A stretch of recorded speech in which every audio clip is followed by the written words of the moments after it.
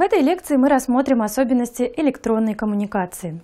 Наряду с известными традиционными устной и письменной формами общения появилась электронная, которая сочетает в себе признаки обеих этих форм. Мы видим и читаем тексты в интернете, но по структуре, по используемым языковым средствам понимаем, что это устное общение. В первую очередь мы поговорим об особенностях неофициального общения в интернете, поскольку это, как и язык СМИ, зеркало основных тенденций развития русского языка. Каковы же особенности языковой организации интернет-общения? Давайте рассмотрим, как они проявляются на разных уровнях. В области фонетики и графики встречаются сочетания кириллицы и латиницы, строчных и прописных букв. Примеры этих явлений вы видите на экране. Повторы букв «прекрасно» с несколькими буквами «с», искажение написания, усечение части слов, грю, тока, значение только. Знаки препинания, графические символы используются для выражения эмоций, мимики.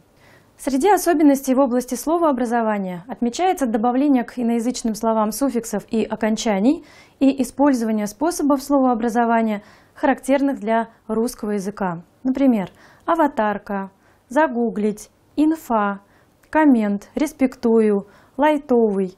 Для электронного общения характерно оказиональное словообразование, то есть создание авторских новых слов по существующим в языке моделям, словотворчество.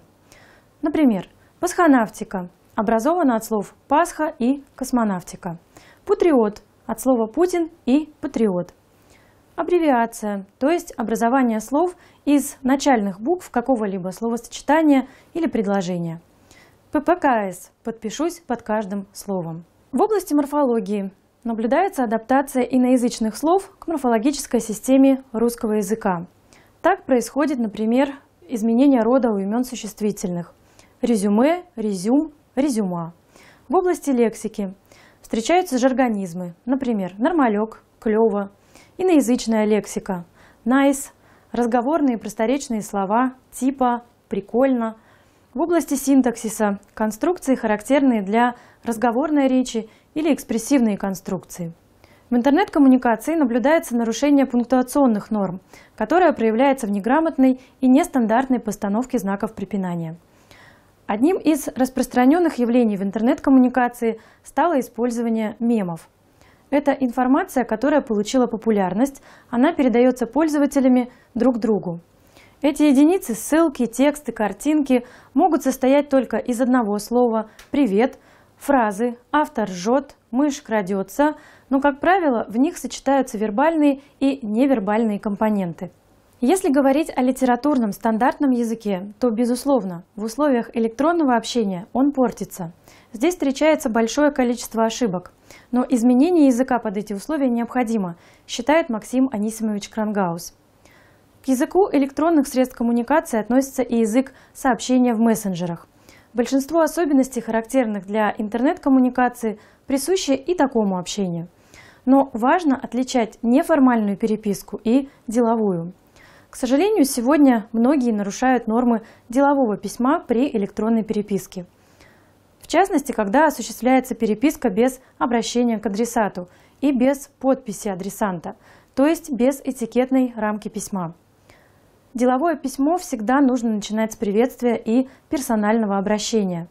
Это не только проявление вежливости, но и гарантия для получателя, что письмо адресовано именно ему. Очень часто письмо начинают просто со слова «Здравствуйте» без обращения и заканчивают без подписи. Любимое многими выражение «доброго времени суток» используют потому, что не знают, когда адресат прочитает письмо. Но с точки зрения норм это не совсем корректная формулировка. Лингвисты говорят о том, что обычно этикетные формулы приветствия включают существительные в именительном падеже «доброе утро», «добрый день», «добрый вечер». И, прощаясь, говорят, например, «счастливого пути», «удачи», «спокойной ночи».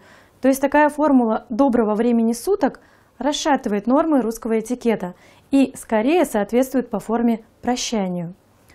Жаргонизмы, разговорная лексика не должны присутствовать в деловом письме.